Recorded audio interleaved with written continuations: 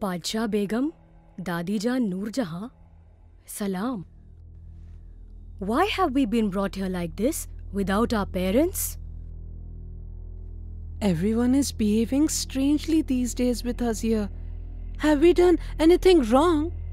We want to go back to Agra. We want to go back to our mother. No, no, it's not you, my children. You haven't done anything wrong. But your father, yes, he has done something very, very wrong. He has foolishly revolted against your grandfather, the mighty Emperor of India, Jahangir. And he also accused me of having taken indirect control of the Sultanate and stripping him of his posts and powers.